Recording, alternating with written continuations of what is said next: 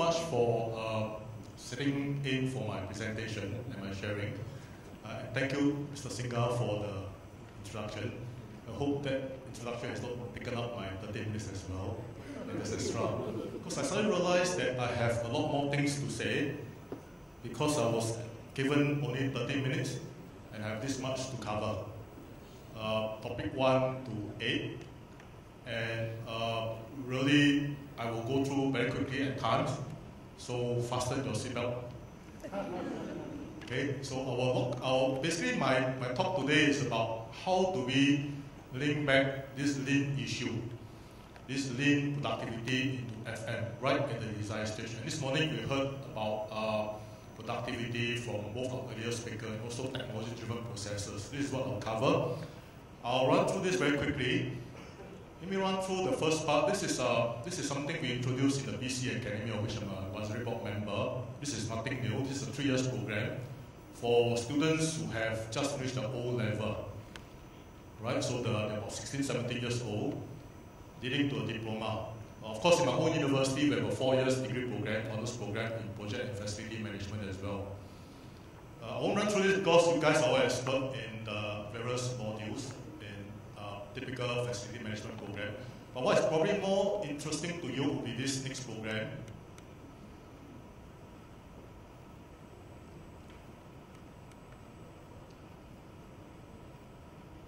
See.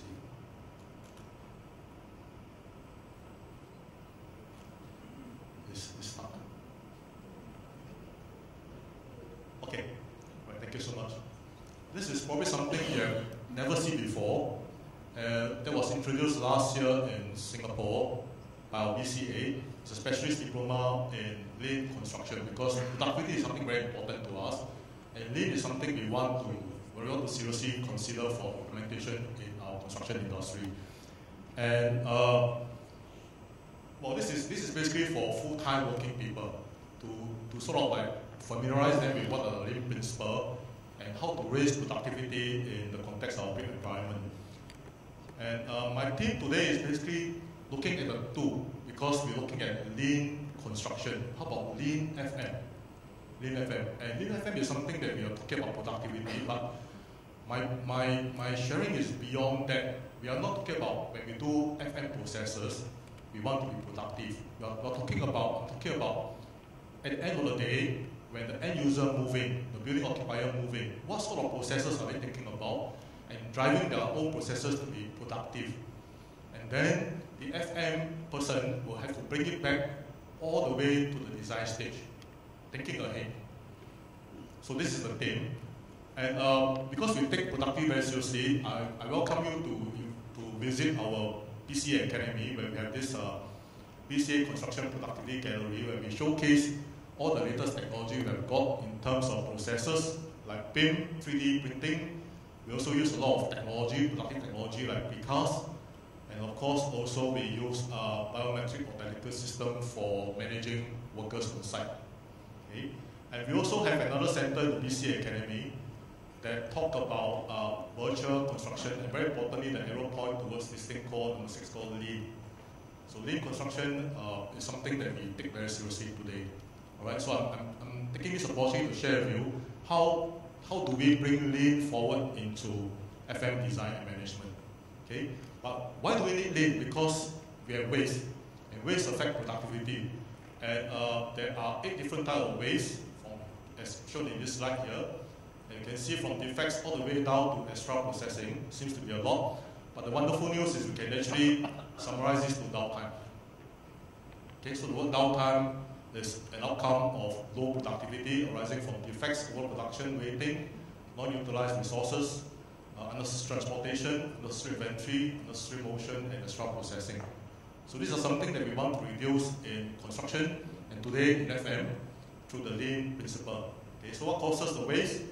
Basically, uh, many reasons, lack of coordination, poor quality control, improper planning, all the way down to uh, saving costs, by the expense of something else, saving time, by the expense of something else as well, and many more. And the list can go on. So these are causes for waste. And um, to think of all these issues, we go back to the origin. What exactly is lean? And um, we can trace Lean back to the Toyota production system, which have got four major areas of philosophy, process, people and partner, and problem solving. And I believe this is the basis whereby the ISO 9000 also borrowed from some aspect of the uh, Toyota production system. And uh, there are 14 principles underlying Toyota to make it a world-class automobile maker today, and it's shown in this triangle here. So each of these each of these four areas have got some guiding principle. For example, very importantly, we have got the first part on philosophy. Basically, management decision based on long-term philosophy, even at the expense of making some financial losses. They want to make customer happy. So that's principle number one. Uh, level two is about processes. Level three is about people. I think this morning we heard about uh, heard from Stan Mitchell about people. So people is very important. Grow leader, nurture them. And equally important at, at, at, at the top of the pyramid, we have problem solving. So right from the start, we have got management basing on long-term philosophy. Right at the top, we have got Kaizen. Kaizen meaning continuous improvement. All the things we do, we should not be happy with status quo. We must continuously improve. And uh, in fact, the latest thinking is that because of the disruptive, disruptive economy, we used to think about uh, thinking out the box, right? I think it's very familiar to all of you. Thinking out the box, then we get out of the box, okay? By this age of disruptive technology, we actually destroy the box. We redo things all over again. So it's very important for us to learn, relearn, and unlearn. So therefore, all organizations, including FM organization, should aspire to become a learning organization. Okay, so as Lean, Lean is basically very simple. It's basically a way of thinking. Uh, one, one very good example uh, to illustrate is in this diagram here. This is a typical traditional way of doing things. Everything is very messy. And you don't know exactly what you're doing. So you've got processes 1, jump to 2, 3, 4, 5, and 6. It's all very messed up. And there's no standardization. So Lean try to try to arrange everything systematically. We make use of standardization. We reduce unnecessary processes. So we cut down from six processes to four processes. And it's very clear cut down. So one, two, three, and four. So this is exactly what Lean is all about. All right, systematically making sure that workflow are all uh, easily understood uh, and the process will eliminate waste, the downtime waste. Okay, and um, in the context, Toyota has been doing that for many years, usually you know 30, 40 years. Uh. So Toyota typically, in the good days, they will have the plant and all the individual suppliers. Just imagine this is your site, this is your building site of your building. Uh, we have got different suppliers delivering your products to your site. And this is not very good because it can lead to congestion, congestion on the site. Of course, uh, carbon emission as well because you have many trucks going to the same site. So they rearrange the spoke delivery system into a ring delivery system whereby suppliers talk to one another. Alright, so we have people and process processor, people and partner. So the suppliers will come together and they'll arrange to pick up, instead of individual suppliers going to the site, they will come up to pick up along the way. And uh, they will have uh, three trucks coming to the site instead of uh, you know more than three trucks over here. Okay, so this is part of what Toyota has been doing for a long, long time.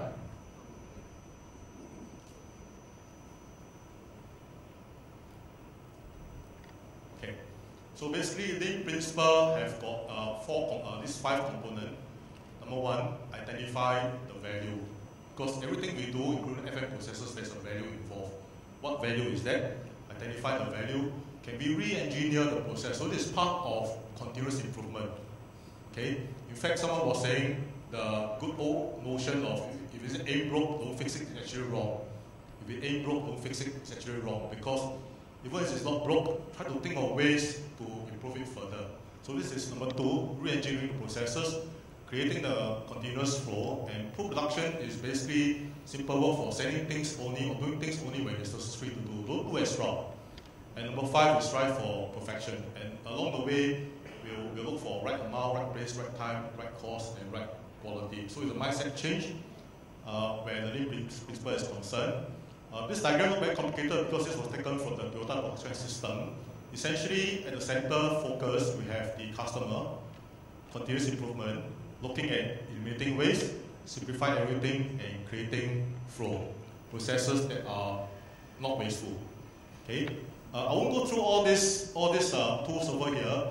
Uh, suffice to say that value stream mapping is very important because value stream, value stream mapping refers to the other diagram, previous slide, number 15, talking about the five processes, right? How to make things better. So this is part of the lean tool we can use you're interested in. Problem solving is very important as well. Right. Uh, someone has done some studies on lean strategy. What strategies are really useful for business operations? I highlighted two ago there, post system and flow orientation. So basically, sending things only when it's needed. Don't send more. Because if you send more, then your site, your office, your building, your asset will all be jam-packed with things you do not need. Uh, flow orientation is very important. Is there better way of doing things, processes, and so on? Especially now in the context of uh, technology. How can we improve the flow? So uh, these are the ranking of these strategies uh, done by an earlier study by someone else. There are, of course, many benefits of Brian Lim principle. Number one is to reduce the share of non-value adding activities. Basically waste. How can we reduce waste? Uh, are we are we on lookout for continuous improvement? So that's point number one. I won't run through the rest because this benefit is, is quite straightforward. Once you got lean principle in place, you reduce variability, you reduce cycle time, all the way down to benchmarking how are you performing relative to your competitor? What, what is your competitor? Why is your competitor doing this way? How can you improve and vice versa? So these are the benefit. Uh, so I finish, I'll finish off with sharing with you the background of what Lean is all about in the context of FM. So now I'll go on to look at two case studies we've done uh, back home. The first is on uh, Remote Light Factory. It's called Remote because you, you can see the factories have very few surface car park the car park is right in front of the factories. These are individual factories, and it's for light industry. It's called ramp because this is the ramp that go up. The next slide will show you another picture. So the vehicles that send the products or the services to the companies will drive all the way up to the front of the shop unit or the factory unit. And there's sufficient space for three vehicles to pass by. And uh, what I'm trying to say is this don't happen by chance. This happened because someone thought of what the factory's operator need and work it back into the design stage. Okay, so the factory people are actually running their operations on a lean basis, productive basis. So this is all built into the design, the design part of things, including three, three vehicle wide driveway. Within the factory, we got the mezzanine floor. Within the factory unit for offices, this is uh, this is where the management uh, owner is located, looking downwards, looking, uh, monitoring the work done.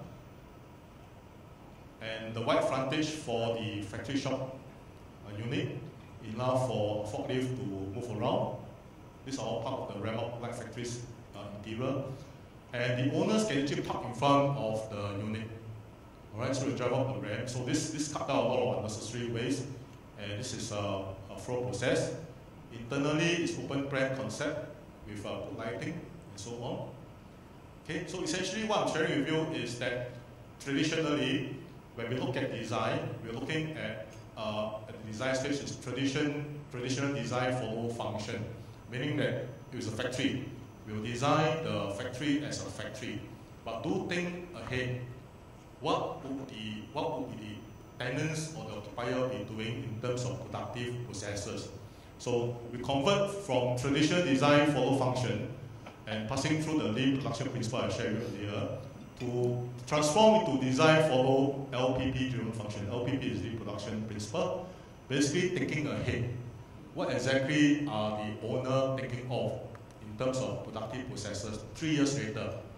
And then we bring it back forward from the facility management point of view into the design so that when the person or the people move into the factory unit, they know exactly what has been placed for them to help them to be productive in the processes.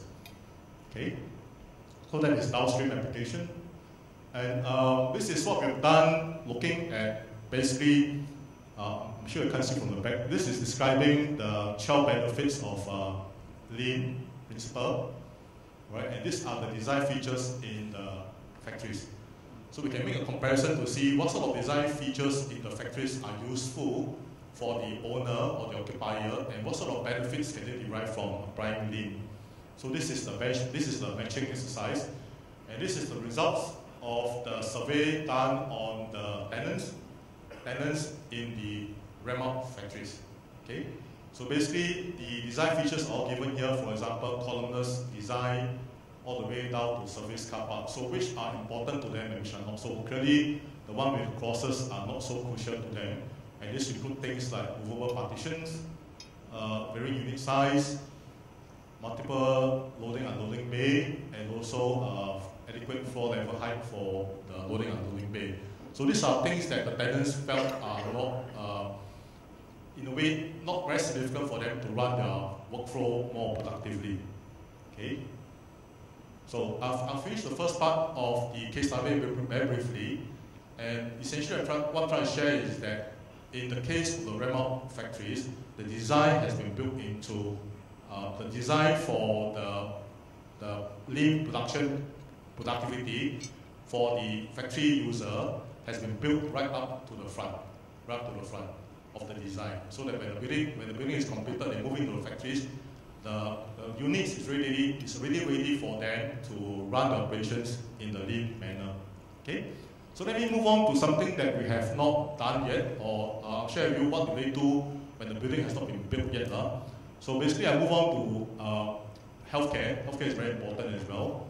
So healthcare is, uh, you know, healthcare is something very crucial because when someone is not feeling well, go to the clinic or to the hospital, the last thing you want to happen, you want them to experience is inconvenience. So flow is very important. The flow is very important. Uh. So basically, we look at healthcare uh, from the factory, uh, from, from the patient perspective, uh, demand, flow is very important. How do we map the value stream to make it uh, very, very uh, useful for the patient and also the staff? And how do we improve uh, continuously? So we try to implement lean management in healthcare. And this is a service provided by our consultancy firm, Langdon and. So not something that is theoretical that we talk about in class. They really implement it in the case of healthcare facilities.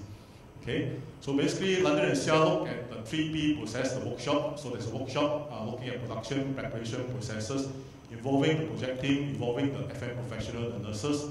And uh, the discussion can take place over a couple of days, covering these seven key flows, patient needs, staff need, equipment information, supply quality standard, and also at the end of the day, what do you expect to see in the facilities to, to uh, support all this requirement. Okay, so these are seven keys flow. And uh, basically, for large, complex uh, hospital, this discussion can spread over three days. So you have a team of uh, uh, very detailed discussion talking about business case for the project, uh, creating the process and the flow, identify the core services, are there alternative and innovative ways of doing things, are there options, test the ideas, and then we actually execute the ideas. Thinking ahead, what are the needs of the patients, the need of the clinicians, uh, the need of the logistic people at the point in time when the healthcare facilities or hospital is being used. Build this into the design stage to facilitate productivity at the end of the day. Okay, so uh, I'll share with you something that we have done already uh, back home. This is uh, NUH, National University Hospital, and uh, you know many things have been said. I just want to highlight one one key statement here. In the hospital, just three turns will get you where you need to go. The hospital is a big place, right? People will get lost because they're there for the first time. And they're also not feeling very well, so they can't figure out where to go. But the hospital is designed just a way that you just need to turn three turns, the most three turns, and you get you where you are. And um, including the, the lift, the lift installation. So in NUH, there are 10 lift installed. Okay, 10 lift installed, and waiting time is not more than 30 seconds for uh, waiting for the lift. So just three turns will get you where you are.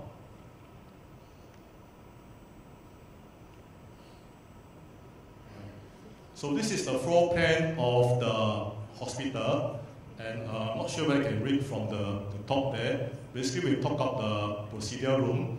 So if a person need to go and see a doctor, need to draw blood, need to consult the uh, various different specialties doctor, they go to the same floor, everything is done at the same level. And this is to make it productive. So workflow must be planned ahead of time. And this don't just appear out of nowhere. This is by virtue of a workshop. People discuss what they need and so on. And essentially, all this will be brought back forward to the design stage. So that's why it's called LPP-driven design function. It's no longer the traditional design flow function approach. Okay, so this is the one-stop access to facilities in the hospital. And this is the, the five stages that uh, Langdon and Seah will conduct as a consultant, basically to, to roll out the importance factors that the, the end user for the hospital would like to look at. So stage one is to define the need, create the operational model, main flow, create the services, produce the design. This design will be the lean production principle driven design. It's not just the, you know, what is in the hospital, but what, what can make the hospital more productive ahead of time. Uh? And these are time they can take to discuss or uh, create output. So let's say, for example, we want to look at uh, stage number four, create a service. The requirement is that we must develop the service processes, the service flow, the, the layout, test the design. The output will be, we have a detailed discuss, description of the service processes, the outline floor plan, and develop the model right at the start. That means ahead of time, three years later, the, operate, the, the hospital will run in a very productive manner. Okay. All right. Uh, this morning we hear from uh, Datuk, our guest of honor about Malaysian transformation uh, map. We do have the same thing in Singapore as well. And uh, our transformation map talk about productivity as well, and they cover 23 industry, including somewhere down the line you have got healthcare. Uh, healthcare is here, construction is here, right? So we look at jobs and skill. Uh, retraining is very important. We learn, we unlearn, we relearn. Okay. So job and skill, productivity is mentioned a couple of times, and that's also built into uh, Stan Mitchell definition of uh, FM, productivity of the core business. Uh, looking at innovation, innovation is the key thing we do now because it's all about disruptive technology and so on. Uh, and moving on, end of day, export. Export of services, export of product, internationalization. So this is something we look at. And with that in mind, uh, innovation, productivity, taking ahead. We use this a lot now in uh, our food court back home. And this is not a robot in a way, this is just a very, very, very simple way of automating the process of uh, creating your tray. After your meal, right, uh, someone has to clear your tray from the table, clean the table, and so on. Uh. So in this case, we have got uh, well, some will say it's a robot. So this guy will move around. I'll show a bigger picture of this. Uh, this is in a typical food court in Singapore. Next slide. Yep. So you see, this is where the dining, the, the diners are, and you have to create a clear path with the appropriate sensor mounted on the ceiling to guide this, this so-called robot to move around. So once it reaches your table, you can actually stand in front, it will stop. You can put your tray there. And uh, the system, the sensor will guide the robot all the way to the kitchen wash basin, the wash area. And someone will download everything to there. So what I'm trying to say is that if you if you have got a system like this, you must think ahead. You must think ahead, create the space because you want to be productive when the food court is running. And this can happen when you think ahead. This is what we're going to use. Uh, of course, having said that, three years down the road when the building is completed, uh, probably different technology will come in. But this is thinking ahead using the robot, okay, collect the tray. Next slide. Yep. And uh, in terms of the hospital, we talk about healthcare. Uh, our Singapore hospital uses the world first robot system to pick pills for busy pharmacy staff. So the Singapore General Hospital, we have automated drug delivery system using radio frequency ID tagging. And now hospital uses robotics to shorten, to shorten pharmacy waiting time. So basically, to increase productivity, you must create space for that to happen. Right? uh, right from the start of the facility design to manage this at the end of the day. Okay, and this is how it works. Basically, uh, this happened in Singapore General Hospital, automated drug delivery system, RF, RFID tagging. There'll be a basket with a tag there, and uh, a pharmacy technician will scan the tag with a code, and the robotics system here will pick up the necessary uh, medicine, put it back into the basket, and send it off for dispensing to the patient. Everything is automated in a sense. So this is part of facility design as well, but you don't think ahead. You think ahead, right? Right at the start. Okay? And uh, we also use uh, robotic porter in the Changi General Hospital. So this guy here is a porter that moves around with various instruction, various equipment, and so on. And this is robotic use in lab testing. Again, this have to, this have to be uh, this have to be think ahead, have to be thought ahead before uh, the hospital is even completed uh, in order to increase productivity in the hospital. Okay, next slide. Uh, likewise, in uh, Changi International Airport, we have got this uh, new trolley system whereby there is this automation system and also tracking system using sensor to, to tell you which gate, which, which terminal is, has got a new flight coming in and how many trolleys are available. So you don't have to get uh, manpower in, everything will be automated and you know the numbers needed for uh, the trolley. So automated trolley system. And uh, yesterday night, I was hungry, so I ordered uh, some supper and one guy delivered the supper to my room. So in future, the guy will disappear. He will deliver by a robot. Okay, so this is in place now in Singapore. Four hotels are using uh, this robotic system now to deliver food and drinks, whatever you need to your hotel room. Okay, so this will come. And of course, having said this, you have to plan this ahead to be productive into the design. So my key takeaway, having finished the sharing, is that perhaps at the end of the day, when we have got facility management, we should put in the productive part of things ahead of time and convert the traditional design follow function thinking into a design follow LPP driven function thinking. What would the client need at the end of the day uh, in terms of productivity and build that into build that into uh, the design right from day one. Okay. Next slide, please. Sorry, next slide. Yeah, I'll, I'll finish off with this uh, this diagram here that was published only uh, February 2017 by McKinsey, showing productivity. Because end of the day, productivity is all that matters. Uh. And uh, this, this diagram here talk about uh, four segments in terms of productivity, the laggards, the accelerator, the outperformer, and the declining leaders. Okay, so I'll leave you with food for thought because uh, Malaysia is in this band here. So we look at construction labor productivity growth, is here. In terms of, uh, this is in terms of uh, dollars per hour, labor productivity is, is somewhere around here. So if we want to think about raising productivity as part of Malaysian transformation, we need to think ahead of, of time, how technology can help to improve productivity and build it back into the facilities design stage. Okay, so I think with that, I'll end my presentation. Thank you so much for your time, and uh, I'll take questions later on. Thank you.